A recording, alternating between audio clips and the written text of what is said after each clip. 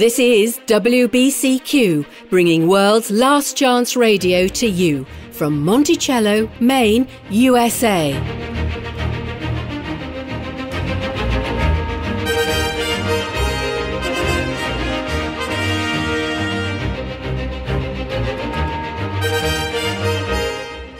The heart longing of every Christian for the last 2,000 years has been to see the Saviour return and set up an everlasting kingdom on earth.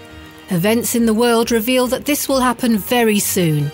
Keep listening to learn how you can spiritually prepare for Earth's final events.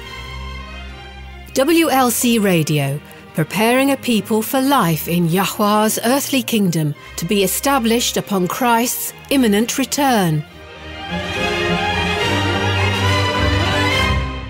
Language. Without some form of language, it's very difficult to communicate, but not all languages are spoken. In addition to sign language, one language called La Gomera, which is used off the coast of Spain, consists entirely of whistles. Hi, I'm Miles Roby, and you're listening to World's Last Chance Radio. A language of whistles. Do you think that would be hard to learn, Dave? Well, that's really interesting, isn't it? It makes me wonder, actually, if the, if the grammar is more rudimentary. Just how complex of ideas can you communicate by whistling? I don't know, actually. I mean, as you know, languages and words have always fascinated me. Because uh, did you actually know that people who speak Chinese use both hemispheres of their brain, but people who speak English only use their left side? No, I didn't actually know that. No. Hmm. I, I wonder, actually, having said that, if that explains why an artistic type of person maybe struggles with English grammar, even if it is his or her native tongue. Why doesn't everyone struggle with grammar? well, no, I, I, wouldn't say so. Although English grammar is more straightforward than most other languages, would you believe? It's our spelling that is so atrocious, with so mm. many exceptions to the rules. Yeah, that's what we get for adopting so many words from other languages.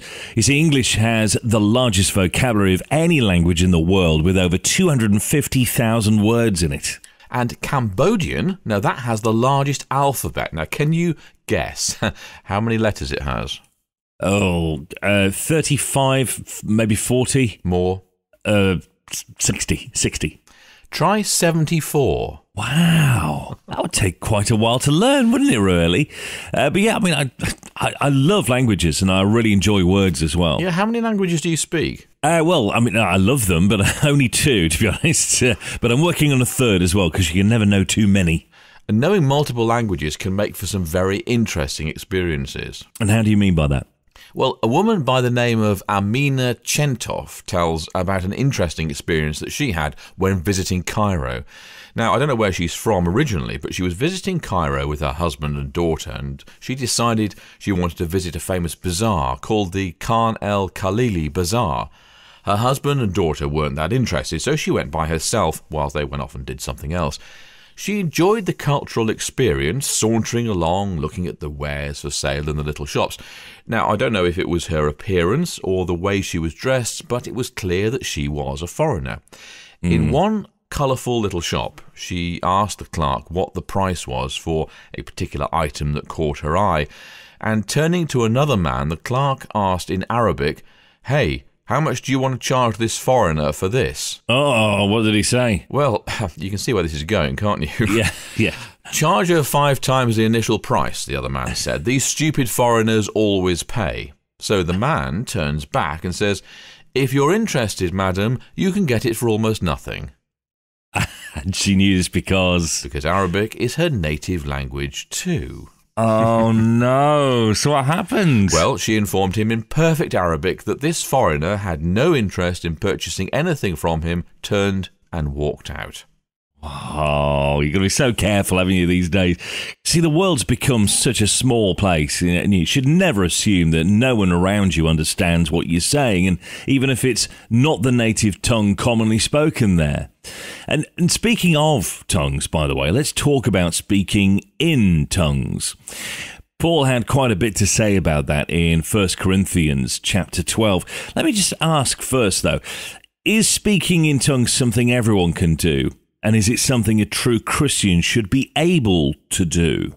Well, That's a very good question. A number of Christians believe that the ability to speak in tongues, which Scripture says is a gift of the Spirit, is something that is proof you have the Spirit. Right. Okay. So basically, a litmus test of how devout or committed or real a Christian you are. Well, yeah, that's what it often comes down to. And as you can imagine, the pressure is immense. If everyone around you is speaking in tongues, there's going to be a tremendous amount of peer pressure to do the same mm. thing, to, to prove that you're a committed Christian too. Oh, absolutely. I mean, I hate to say it, but Christians can be the most judgmental, critical individuals around. It's really too bad and not like Christ at all. No, more like the Pharisees than Christ, actually. So why mm-hmm. don't you just grab your Bible there and let's turn to 1 Corinthians chapter 12 and let's take a look at what Paul is really saying about tongues and the gifts of the Spirit. Okay, so it's 1 Corinthians chapter 12. Uh, which verses are we going to, Dave? Well, in fact, let's just start at verse 1 and let's make our way through the chapter. It's always important to read the entire thing because this chapter has been misused by quoting some part of it and then ignoring other parts. Yeah, okay, right. It says, Now, about the gifts of the Spirit, brothers and sisters, I do not want you to be uninformed. You know that when you were pagans, somehow or other, you were influenced and led astray to mute idols. Therefore, I want you to know that no one who is speaking by the Spirit of God says, Yahushua be cursed, and no one can say, Yahushua is Lord, except by the Holy Spirit. So this is just basic. You're not going to curse Yahushua if you're speaking under the inspiration of Yah's Spirit. Likewise, with our fallen natures, we're not going to be able to see and appreciate Yahushua for who he is except by Yah's Spirit. That's just foundational. Now he's going to expound and talk about what sets apart believers as different. Okay, go ahead. It's verse 4. There are different kinds of gifts, but the same Spirit distributes them. There are different kinds of service, but the same Lord. There are different kinds of working, but in all of them and in every one, it is the same God at work. So this is still basic info, but it's important. Here he's Yeah. saying that there are different kinds of gifts. They're not all the same, but it's still Yah's Spirit that dispenses them. Okay, keep going. Now to each one of the manifestation of the Spirit is given for the common good. To one there is given through the Spirit a message of wisdom. To another a message of knowledge by means of the same Spirit. To another faith by the same Spirit. To another gifts of healing by that one Spirit. To another miraculous powers. To another prophecy. To another distinguishing between spirits to another speaking in different kinds of tongues, and to still another the interpretation of tongues. All these are the work of one and the same Spirit, and he distributes them to each one, just as he determines. Now, this passage, what is it, verses uh, 7 to 11? It, well, yes, it is, yeah. Now, this is the crux of where people disagree, and this is what we need to talk about today. There are some very sincere Christians that take this passage to mean that every true Christian will manifest all of the gifts listed here. In fact, the presence or absence of what Paul calls gifts are taken as evidence of the individual believer's level of devotion or security. Mm, see, I've encountered that belief before, and you know, it, it really does bring a lot of pressure to bear on the individual. In fact, I mean, I've wondered if this is the basis for the modern practice of speaking in tongues. So, what, what the passage or the pressure to prove your devotion as a true Christian?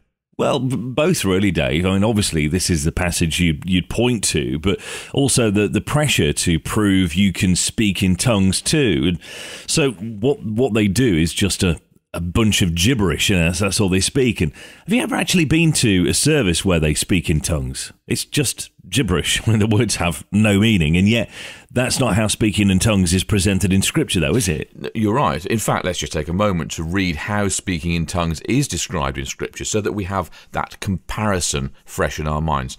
Will you just turn to Acts chapter 2, please? Now, hmm. this, of course, is the day of Pentecost when the apostles were baptized with the Holy Spirit, and one of the effects was the ability to speak in tongues. Not gibberish, but other real languages. Why don't you start reading at um, verse 5, please? Now there were staying in Jerusalem God fearing Jews from every nation under heaven. When they heard this sound, a crowd came together in bewilderment, because each one heard their own language being spoken. Utterly amazed, they asked, Aren't all these who are speaking Galileans? Then how is it that each of us hears them in our native language?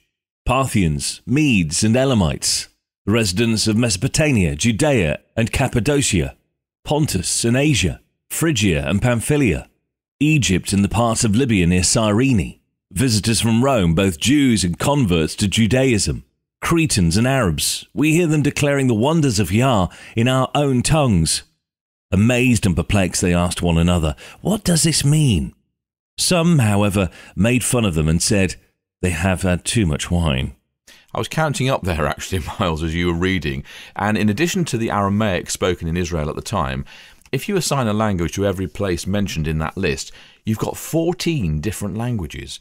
Judea is listed, but they spoke Aramaic there, so 14 different languages in addition to Aramaic. Sounds like different believers were speaking different languages then.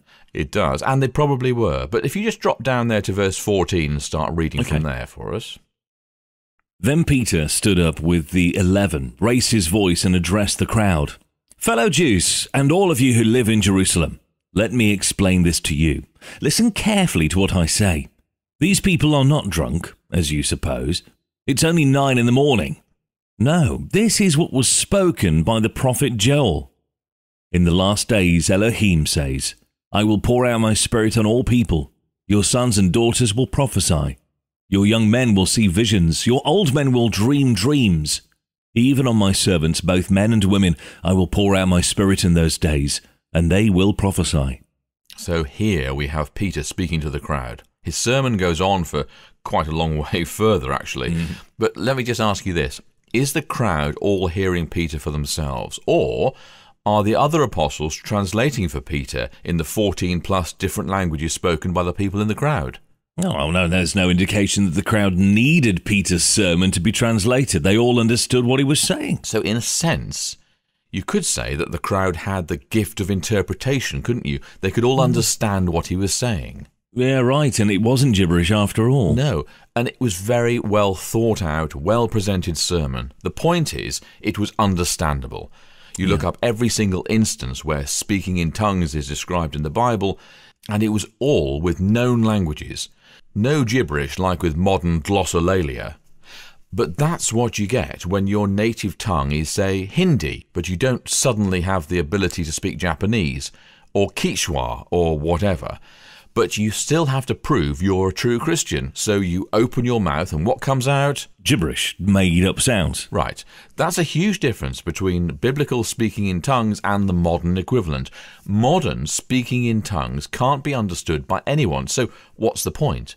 I know they'll claim they're speaking to God, but that's not why the Spirit gives the gift of tongues. Mm, well, sometimes they have someone standing up to interpret what's being said. Sure, and they'll base that on uh, verse 10 there, where the interpretation of tongues is listed as a gift of the Spirit.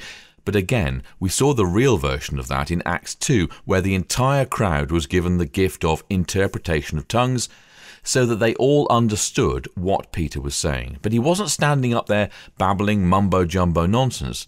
He was speaking a known language, probably Aramaic, and they were all able to understand what he said.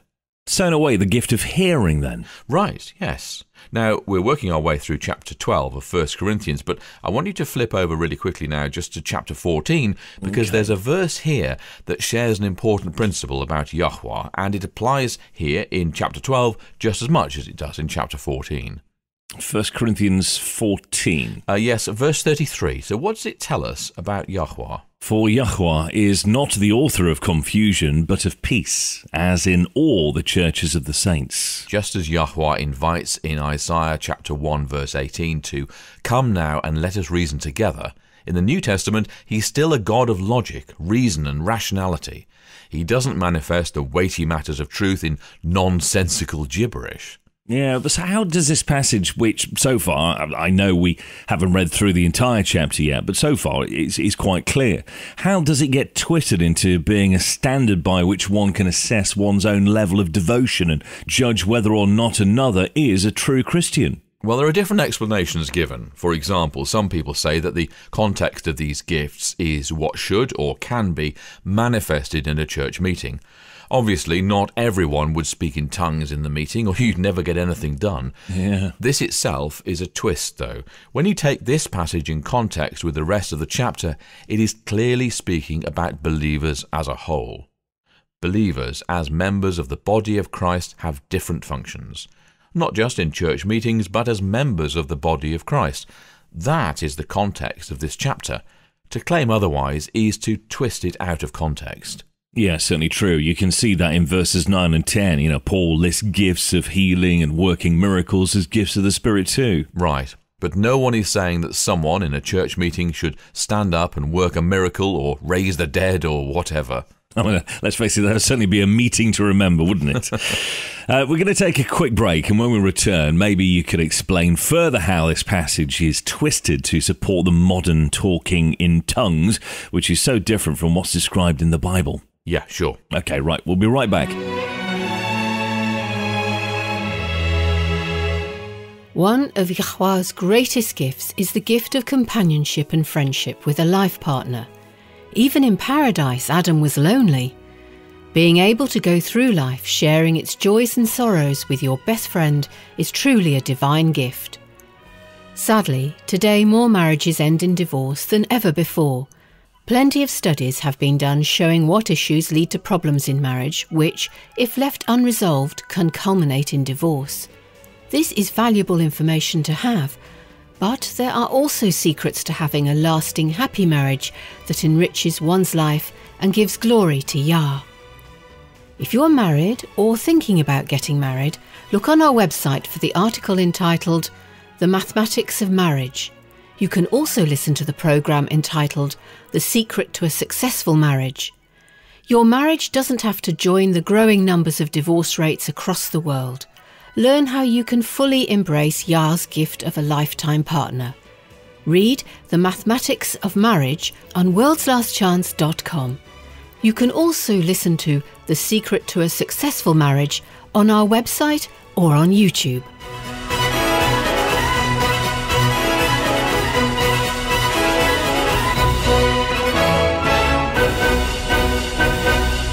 So you said there was another explanation given for the gifts of the Spirit being something we should be seeing and doing today. Yes, uh, and this is probably the most damaging explanation, and is probably the one most responsible for the modern assumption that all this gibberish they do meets the biblical definition of speaking in tongues, and that mm. is the belief that a true believer should have the ability to operate all gifts all of the time.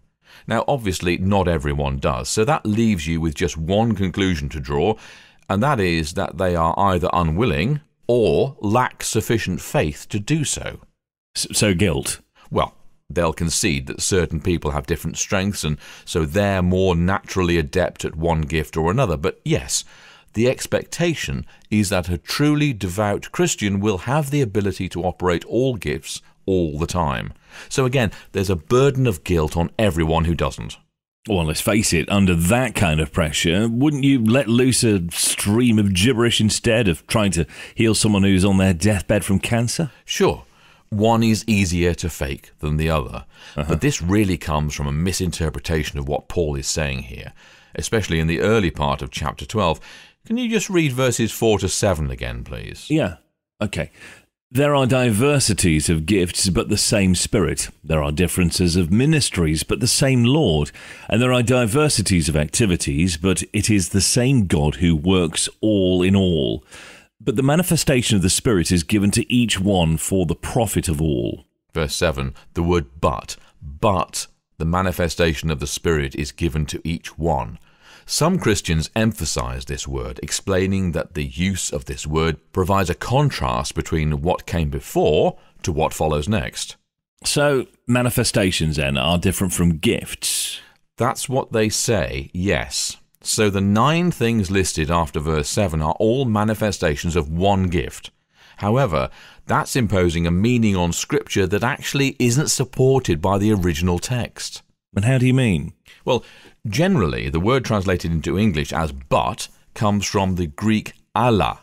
This is the word used to mark a strong contrast, which is what they're saying Paul is trying to do here. But if you look up the actual word, it's not alla in the original Greek, instead it's de. This word just marks a transition between phrases. In fact, it can be translated as moreover, now, thus, or, or even and. So why don't you read that again, only this time use the word and instead of but. Just read verses 4 and 7. There are diversities of gifts, but the same Spirit and the manifestation of the Spirit is given to each one for the profit of all. You can also correctly translate this as there are diversities of gifts, but the same Spirit. Thus, the manifestation of the Spirit is given to each one for the profit of all. So to hang your entire doctrinal point on translating it but is incorrect, and it gets people right off the point. Read verses 7 to 10 again, using thus. Thus the manifestation of the Spirit is given to each one for the profit of all. For to one is given the word of wisdom through the Spirit, to another the word of knowledge through the same Spirit, to another faith by the same Spirit, to another gifts of healing by the same Spirit, to another the working of miracles, to another prophecy, to another discerning of spirits to another different kind of tongues, to another the interpretation of tongues. So, the thing I want you to notice here is that these are all different ways the Spirit is manifested, but there is nothing here to suggest that they're all manifestations of the same gift. In fact, if you compare this list of various gifts with other passages of Scripture, you'll see that these are all gifts listed in no particular order and not even an exhaustive list at that. Where where else does it list gifts of the Spirit? I mean, I think most of us think uh, First Corinthians chapter twelve when we think of gifts of the Spirit. Well, um, there's Ephesians chapter four verses eleven to thirteen, and okay. um, uh, just hold on a second then, because let me just find that, see what it says. Okay. Um, and he himself gave some to be apostles, some prophets, some evangelists, and some pastors and teachers, for the equipping of the saints for the work of ministry, for the edifying of the body of Christ, till we all come to the unity of the faith and of the knowledge of the Son of God, to a perfect man, to the measure of the stature of the fullness of Christ. First Peter chapter 4 verses 10 and 11. Okay. As each one has received a gift, minister it to one another, as good stewards of the manifold grace of Yah. If anyone speaks, let him speak as the oracles of Yah. If anyone ministers, let him do it as with the ability which Yah supplies, that in all things Yahuwah may be glorified through Yahushua Christ, to whom belong the glory and the dominion forever and ever. Amen. Romans chapter 12, verses 4 to 8 just there. For as we have many members in one body, but all the members do not have the same function, so we, being many, are one body in Christ, and individually members of one another. Having then gifts differing according to the grace that is given to us, let us use them. If prophecy, let us prophesy in proportion to our faith. Or ministry, let us use it in our ministering. He who teaches in teaching he who exhorts in exhortation, he who gives with liberality, he who leads with diligence, he who shows mercy with cheerfulness. So you can see that the list in 1 Corinthians chapter 12 is by no means an exhaustive list. Another important point that's easy to overlook is found in verse 7 of 1 Corinthians chapter 12. Why don't you just read that again? 1 Corinthians chapter 12 verse 7. But, or thus, the manifestation of the Spirit is given to each one for the profit of all. Notice the word manifestation is singular. It's not manifestations, it's simply manifestation, singular. The manifestation is the showing forth of the presence of the Spirit. There may be, and are, many different ways the Spirit shows forth, but it is the same Spirit. In other words, the proof of the Spirit is given to each believer for the common good. I remember being told once that the to in verse 8 should actually be translated for, and that the word one refers to one prophet. Okay, you've lost me. okay, let's read verse 8 again. Okay. For to one is given the word of wisdom through the Spirit, to another the word of knowledge through the same Spirit. Okay, now I was told that it should really read, quote, For one prophet is given the word of wisdom, to another prophet the word of knowledge. Wait, well, wait a minute. You, you were told that only prophets were given these gifts, like Elijah and Elisha. Now you're thinking of prophet as in P R O P H E T.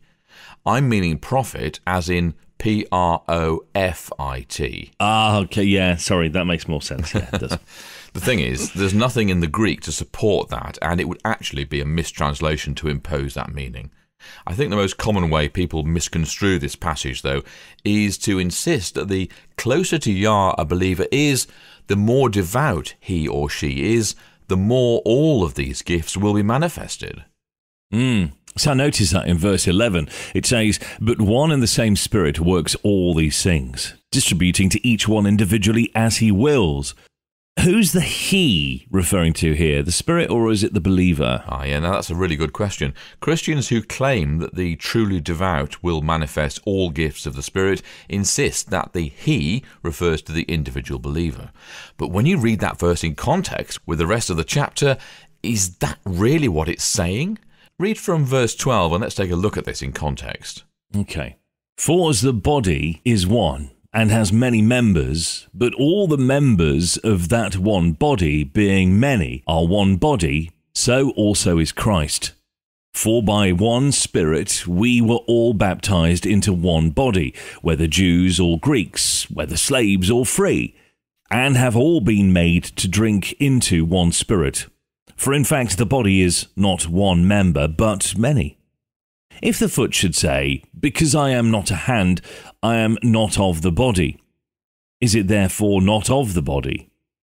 And if the ear should say, Because I am not an eye, I am not of the body, is it therefore not of the body? If the whole body were an eye, where would be the hearing?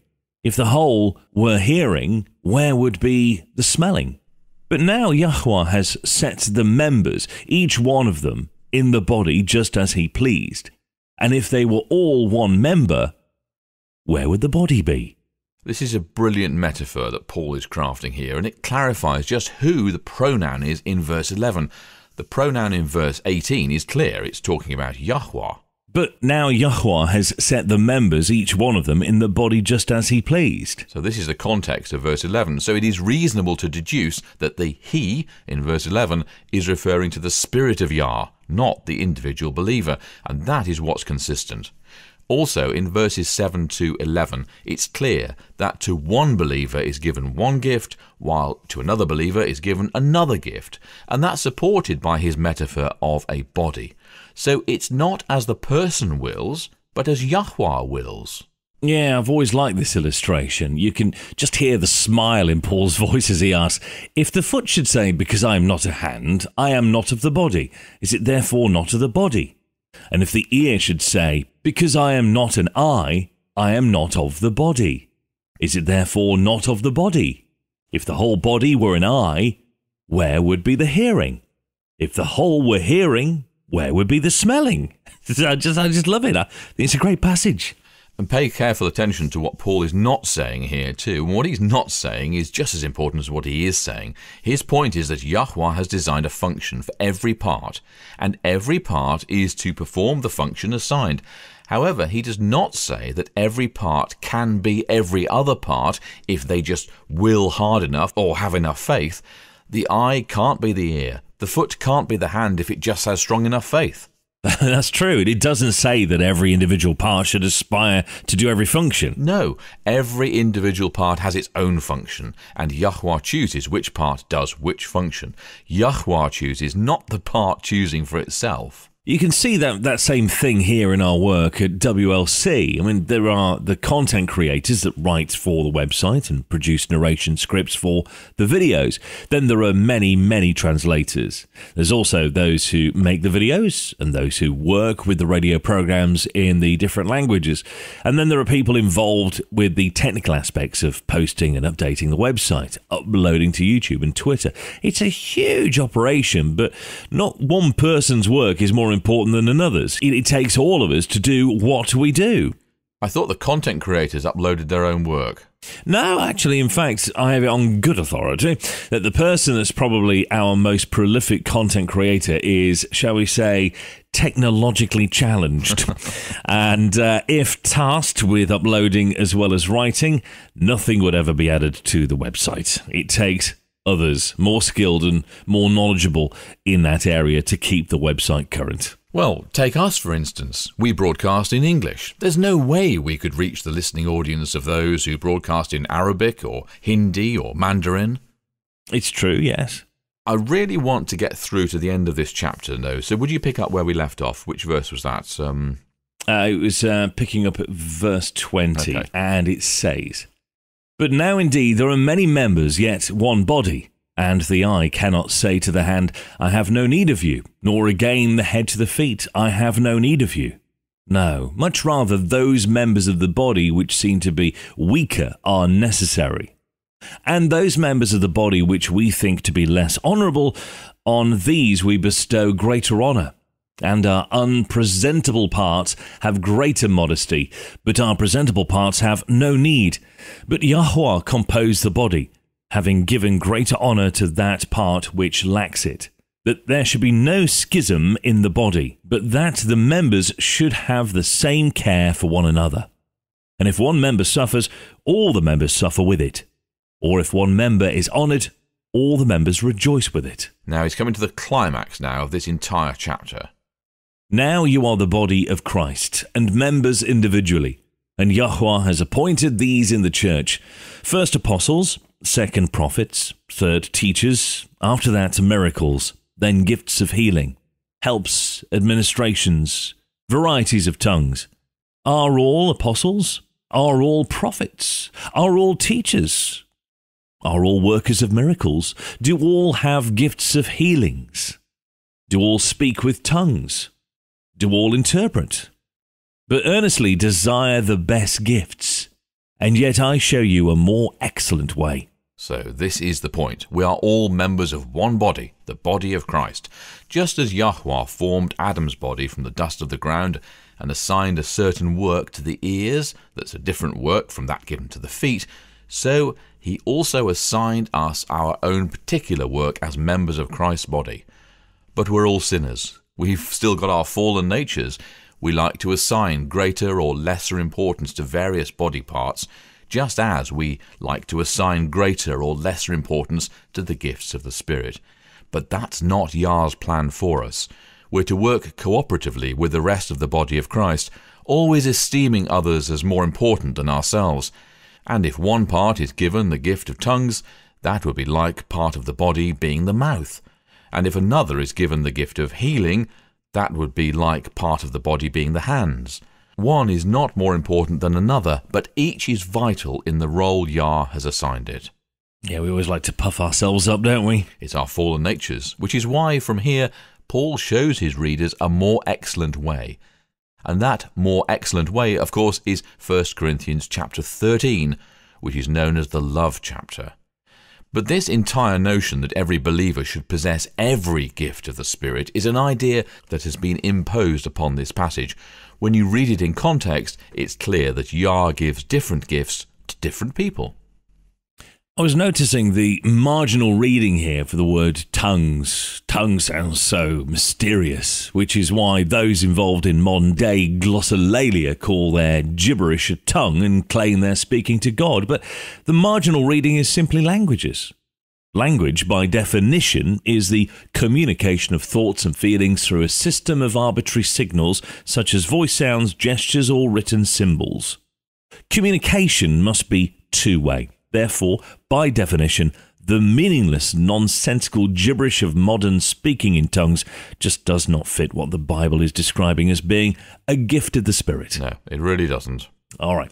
Stay tuned. Up next, Dave is going to share the secrets of having rock solid confidence in Yah.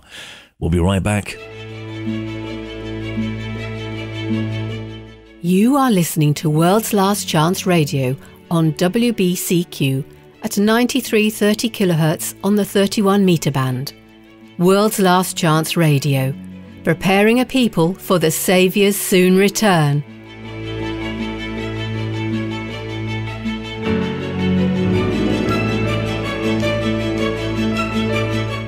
World's Last Chance provides more than radio programmes. Visit our website for articles, videos, computer apps, Bible study aids, and more. World'sLastChance.com preparing a people for the Saviour's soon return.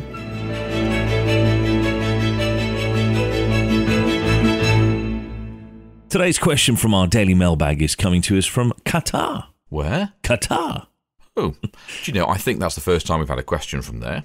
I think it is. Do you think it's exciting, though, to see our listening audience spreading? Yeah, yeah, absolutely. I mean, see, Qatar is uh, one country that really fascinates me. It's been ranked as the safest country in the entire world. What? A, what Middle Eastern country ranked as the safest? Yeah, surprising, isn't it? But the Numbeo Crime Index ranked Qatar as the safest country in the world with the lowest amount of crime. Uh, this was in 2017, 2019, 2020, and again in 2021. Wow. So, how do we compare? Where does England fall, I wonder? Well, we didn't do so well, I'm afraid. Uh, the United Kingdom came in down at 71. Oh, phew, that hurts. Yeah, China came in at 30. Seriously, we came in behind Yeah. China. Yeah, don't worry. You can dull down your competitive nature right now. The US came in at 80. Oh, right. Okay, that makes me feel a little bit better. Um, and dare I ask, which country was considered the most dangerous? Well, uh, for 2021, it was Venezuela. Uh, the interesting thing about Qatar is that its safety records make it a really attractive place for expats. So only 12% of the population are actually Qataris, I suppose you could say. Uh, the rest of the population are all foreigners attracted to the good weather and laid back lifestyle. It's, it's become quite the melting pot, to be honest. How interesting. I never knew that. Right. Okay. So, from that, what's our question for today? Well, it, it's one I think a lot of our listeners will be able to relate to. And it says, How are some people so confident in Yahuwah? No matter what happens in their lives, their confidence remains strong.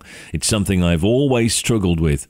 I want to have confidence like that, but if I'm being strictly honest, I don't. How can I have confidence like that too? The secret to having rock solid confidence in Yahuwah is in having a personal relationship with Him. Not one where your experience is limited to listening to a sermon about Him once a week, but one where you are personally acquainted with Him. Basically, what it boils down to is confidence comes from personal knowledge. For example, if I were to come to you and tell you about, say, uh, a dentist. Now, no one really likes going to the dentist, but if I were to tell you about a new dentist that I'd gone to that was able to help me and was very gentle and good and, and didn't hurt, you'd be interested. But you might still be worried or even scared when you went to your first appointment with her. However, if based on your own experience with a dentist, you found that everything I claimed was true, and then some, you'd have confidence in this dentist being good and careful and not painful. Do you see what I'm saying? Hmm, yeah. Oh, you see, it's the difference between personal experience versus hearsay. Right, yes, hearsay can be believable, but if someone more convincing comes along, your beliefs can change. On the other hand, personal experience is far more convincing because you experience something for yourself, so you know for yourself something is true based on your own experience. Let's just take a moment here. I want you to think about someone important to you, someone that you really trust. And just to make that a little more challenging, it can't be a parent. Now, you have a mm. name in mind? Yeah. Okay, then tell me, how did you learn to trust this person? Well, I spent time with her. I got to know her. I shared with her her plans and hopes and dreams, my beliefs. I listened as she shared with me. And as we got to know each other, we had experiences that proved to both of us we could trust the other person. So that's how friendships are formed. That's how trust is developed. And a trusting relationship with Yahuwah is no different. You have to actually put in the time getting to know Him on a personal level if you want to have confidence in Him. Spending time in His Word every morning is a great way to get to know Him. Also, talk to Him. Not just a running list of all your needs and wants, but about the little things too. Yeah, I've noticed that my day just seems to go better when I start it with prayer. I mean, I'm, I know mornings, especially workday mornings, are always busy, but allowing time for prayer really sets up the day. It sets it up right. You know what I'm saying, Dave? You know, have you noticed that too? Absolutely, yes, I have. But I'm not just talking about prayer following your morning devotions, although that is important too. You hmm. don't have to be kneeling with your hands folded and your head bowed when you talk to Yah. Talk to Him throughout the day, on your way to work, before an important business call. Let your thoughts go to Him. You can chat with Him about the little matters too. This is how we develop friendships with other humans. It's how we can develop one with our Creator too. Yeah, I like how you said that, you know, chatting with Yah about the unimportant things too. It's so easy to pray vending machine prayers, you know what I mean, yeah, absolutely. Well, why didn't you just tell us what you mean by that, just to illustrate? well, it? I mean, listen, you, you put some money or swipe your card at the vending machine and you get out what you expect to get. Well, usually anyway, without banging the machine a bit. And, a lot of people pray that way. They go through the motions, Neil. Bow their head, fold their hands, close their eyes. Perhaps use a bit more formal language, these and thous. You know what I mean? yeah. Then they begin their prayers, but it's often nothing but a list of asks. Help me remember what I studied for this test. Help me say the right words to this client, etc., etc., etc. It's all, you know, that's that's what it is. Help me, give me, give me, help me. You know, there's there's nothing wrong at all asking for Yah's help. He wants us to, of course. But how many of us take time to actually thank him for all he does for us? How many of us have prayed prayers where absolutely nothing was asked for? Hmm yeah, no, that's a good Yeah. point, actually. Reminds me of something I read once. It was a question, and, and it asked, What if you woke up tomorrow and the only things you had were what you'd thanked Yahuwah for the day before? Yeah. I think most of us would be rather poor, to be honest. I think. Yeah, and it's a powerful thought, isn't it? It is. So, again, getting to know Yahuwah on an experiential basis for yourself is the key to having confidence in Him. I'd just like to share a few Bible verses on having confidence in Yah. Would you turn, please, to Proverbs chapter 14 and read verse 26 for us? So that's Proverbs chapter 14, verse 26. Okay. It says, In the fear of Yahuwah there is strong confidence, and his children will have a place of refuge. When we know Yahuwah, as it is our privilege to know Him, not based on hearsay, but based on our own personal experience with Him, then we will have strong confidence no matter what happens in life. Now turn to Jeremiah chapter 17 and read verses 7 and 8. This is a beautiful description of how our lives are impacted when we develop confidence in Yahuwah. Okay. But blessed is the one who trusts in Yahuwah, whose confidence is in him. They will be like a tree planted by the water, that sends out its roots by the stream. It does not fear when heat comes, its leaves are always green. It has no worries in the year of drought, and never fails to bear fruit. Go to 1 John chapter 5 now and read verses 14 and 15. There's nothing wrong with asking Yahuwah for what you need. Like you said a moment ago, He wants us to. But when we do, we need to take the time to notice when He answers our prayers, because this is what will inspire confidence in our hearts that He hears us and cares for us. Okay, it's 1 John chapter 5, verses 14 and 15. This is the confidence we have in approaching Yahuwah, that if we ask anything according to his will, he hears us. And if we know that he hears us, whatever we ask, we know that we have what we asked of him. This is why people who have confidence in Yah have confidence no matter what is going on in their lives. Through sickness, through the loss of job or loved one, their confidence remains strong. Why? Because they know Yah and know that He loves them. Okay, let's just do a couple more. Let's read Isaiah chapter 40, verse 31, please. It says, Those who hope in Yahuwah will renew their strength. They will soar on wings like eagles. They will run and not grow weary. They will walk and not be faint. Confidence in Yah is what gives the believer stamina to overcome every one of life's trials. I like Psalm 118, verse 8. It says, It is better to trust in Yahuwah than to put confidence in man. Amen. Humans will fail us. After all, they're only human, but Yahuwah never will. Now, this is something that David knew well. He didn't have an easy life. Let's read what he had to say. Let's go to Psalm 27 and just read the first three verses, please. If anyone had cause to fear, it was David. But instead, no matter what happened, he maintained his confidence in Yah. Okay, Psalm 27, verses 1 through to 3. Yahuwah is my light and my salvation. Whom shall I fear? Yahuwah is the stronghold of my life. Of whom shall I be afraid? When the wicked advance against me to devour me, it is my enemies and my foes who will stumble and fall. Though an army besiege me, my heart will not fear. Though war break out against me, even then I will be confident. It's a great promise, isn't it? Really is, especially for those of us living now at the end of Earth's history. Yeah, exactly. Now, to conclude, I'd like to read Romans chapter 8, verses 31 and 32. And it says, What then shall we say in response to these things? If Yah is for us, who can be against us? He who did not spare his own son, but gave him up for us all, how will he not also, along with him, graciously give us all things. Don't stop there. Keep going. I love Romans 8. If any chapter can inspire confidence in Yah, it's this one. Starting at verse 35, it says, Who shall separate us from the love of Christ?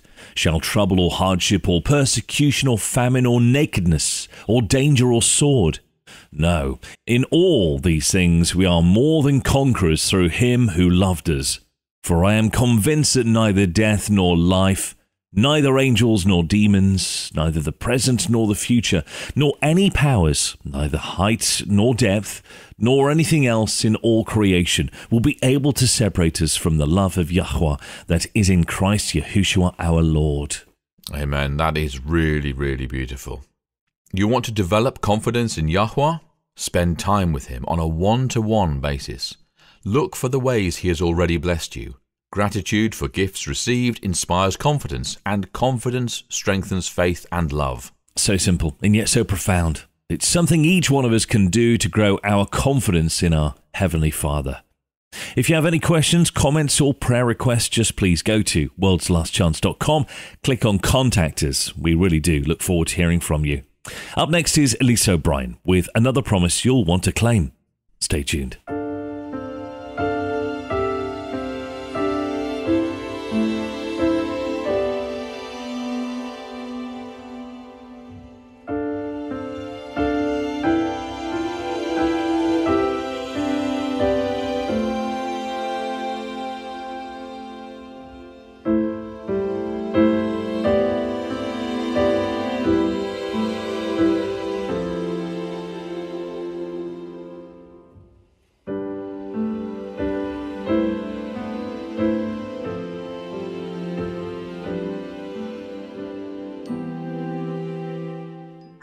This is Elise O'Brien with today's Daily Promise from Yah's Word. It was Monday evening, April 4, 2022. The night began as most other evenings. 17 year old Brittany Deaton was sleeping in an RV trailer that was parked in her parents' yard. Little did she or her parents know what awaited them. Sometime during the night, the wind picked up. It blew and blew hard. Brittany woke up and knew by the violent rocking of the trailer that she needed to get to the safety of the house. However, when she tried to open the door, she found she couldn't. The wind had blown so hard that it had actually wedged the trailer's stairs against the door, and they were now blocking it shut. Meanwhile, Brittany's mother and stepfather had heard the winds of what later was determined to be an E2 tornado. They knew Brittany wasn't safe.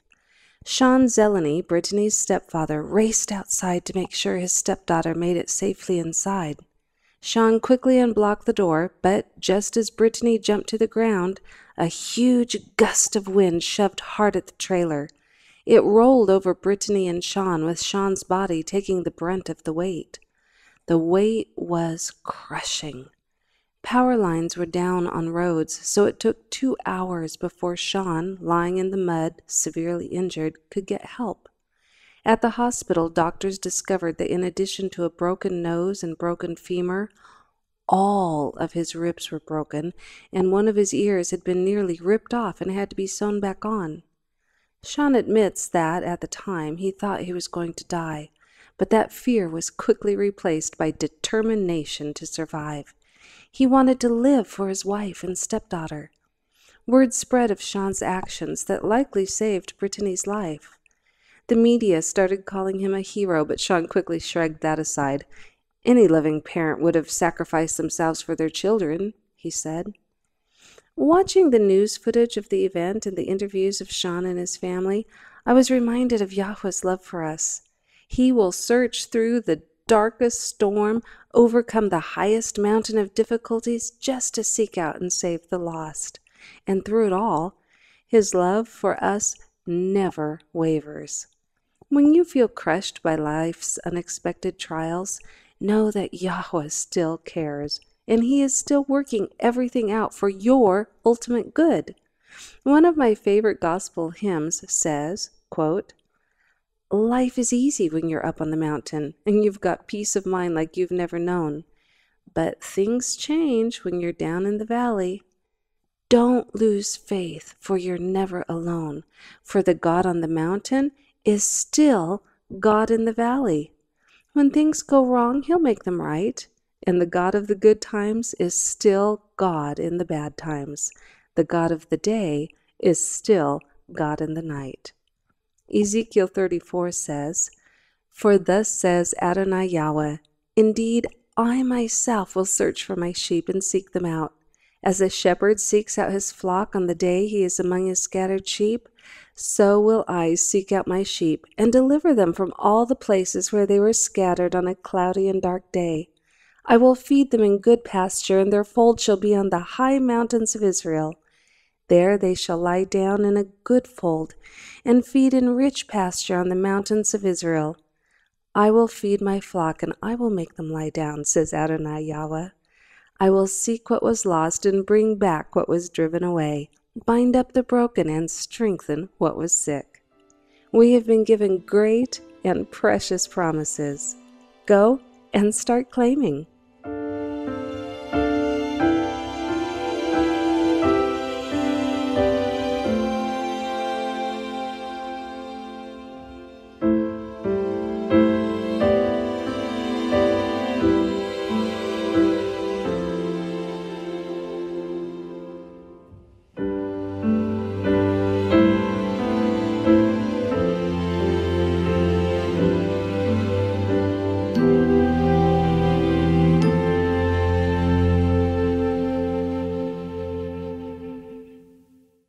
So this probably goes without saying after today's program, but I just want to be crystal clear on this. Do you have to speak in tongues to be saved? Well, let me ask you do you have to buy your wife an anniversary present? Uh, I'll take that as a yes. Seriously? well, you know, they say happy wife, happy life. no, but but seriously, say you've lost your job. Let's say money is tight. Do yeah. you really have to buy your wife a birthday present? No, no. It's it's an easy way to show that I love her and she likes getting them, but a gift is a gift, you know? There's no have to about it. And it's the same with speaking in other languages. It's a gift Yah gives when it's necessary for the sharing of the gospel. It's certainly not something that somehow proves our devotion or Christianity. And its presence or absence should never be a standard by which we judge another's spirituality. Ever. That's just wrong. Yeah, well, judging is just wrong, isn't it? Christians should be the least judgmental people on planet Earth, but too often we're the most judgmental. And sadly, you're right. And that brings us to where Paul left off in chapter 12. He wanted instead to show his readers a better way. So why don't you read that for us? 1 Corinthians chapter 13. Now, as you read, bear in mind that what Paul is describing here is what he calls better than speaking in tongues. Okay. If I speak in the tongues of men or of angels, but do not have love, I am only a resounding gong or a clanging cymbal. If I have the gift of prophecy and can fathom all mysteries and all knowledge, and if I have a faith that can move mountains, but do not have love, I am nothing. If I give all I possess to the poor and give over my body to hardship that I may boast, but do not have love, I gain nothing. Love is patient. Love is kind. It does not envy. It does not boast. It is not proud. It does not dishonor others. It is not self seeking. It is not easily angered. It keeps no record of wrongs. Love does not delight in evil, but rejoices with the truth. It always protects, always trusts, always hopes, always perseveres. Love never fails, but where there are prophecies, they will cease. Where there are tongues, they will be stilled. Where there is knowledge, it will pass away. For we know in part, and we prophesy in part, but when completeness comes, what is in part disappears. When I was a child, I talked like a child, I thought like a child, I reasoned like a child. When I became a man, I put the ways of childhood behind me. For now we see only a reflection as in a mirror, then we shall see face to face. Now I know in part, then I shall know fully, even as I am fully known. And now these three remain faith, hope, and love. But the greatest of these is love. This is what we are to seek the love that is patient and kind and forgives, love that puts others above oneself and is never full of pride.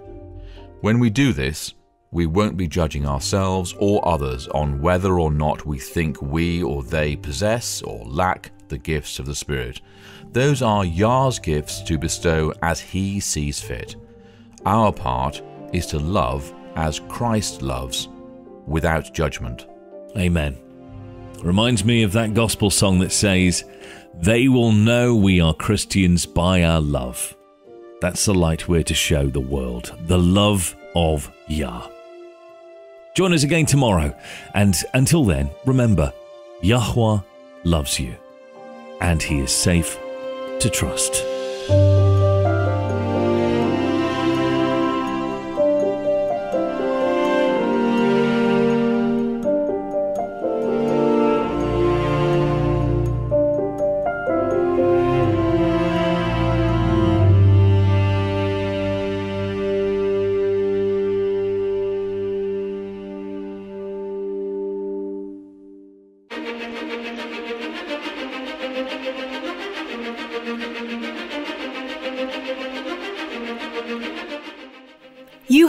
Listening to WLC Radio. World's Last Chance is committed to bringing the gospel of the kingdom of Yah to the world. Prophecy and current events indicate the Saviour will return in the very near future. This will be followed by gifting the saints with immortality and setting up Yah's kingdom here on earth. There's no time to waste. Accept the gift of salvation today and allow Yahuwah to cover you with the righteousness of Christ. This programme, as well as past episodes of Radio WLC, are available on our website at worldslastchance.com. Click on the Radio WLC icon at the top right of the homepage. Join us again tomorrow for another truth filled message on WBCQ at 9330 kHz on the 31 metre band. WLC Radio, preparing a people for life in Yahuwah's earthly kingdom to be established upon Christ's imminent return.